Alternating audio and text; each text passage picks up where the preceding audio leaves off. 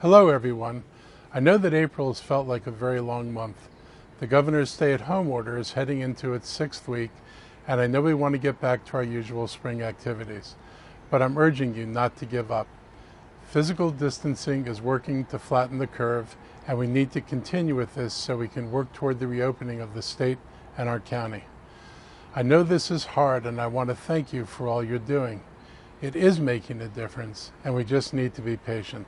The time will come, we will all be together again, maybe initially not in the way we used to be, but we will be able to put this period of staying at home behind us. Until then, stay home, get some fresh air every day, be in touch with friends and family even if you can't see them. Remember to wear a face covering when you have to go out in public. Stay safe, and let's get through this together.